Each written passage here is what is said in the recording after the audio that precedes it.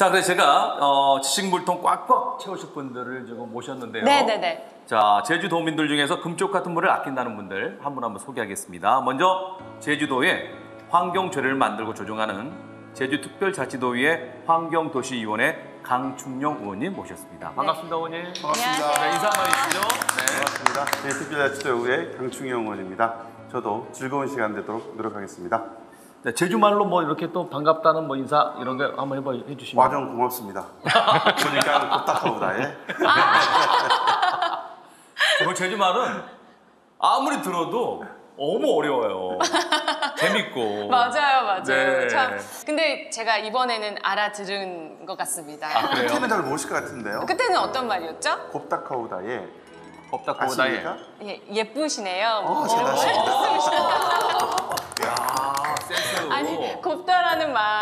네. 들어가서 아마도 그렇지 않을까라고 추측했습니다. 네. 또 제주도를 여러 번 다녀가니까 조금 알겠어요. 그 의미를 조금. 네. 머리가 그만큼 좋다라는 거. 네.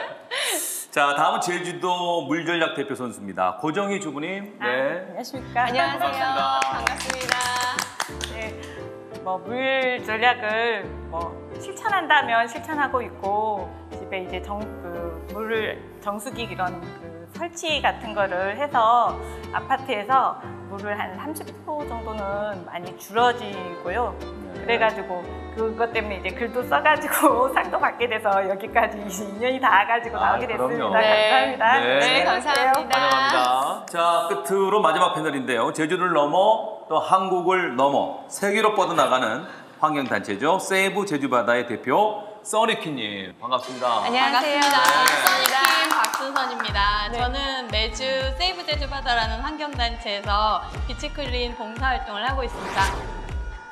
저희는 깨끗한 제주바다를 만들기 위해서 매월 바다정화 봉사 활동을 하고 있는 비영리 민간단체 세이브 제주바다입니다.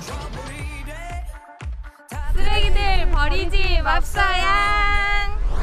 저도 제주 말로 짧게 네. 멘트 하나 해도 될까요? 네, 네, 그럼요. 네. 아꼰 우리 제주 섬 하영 사랑해 줍사양!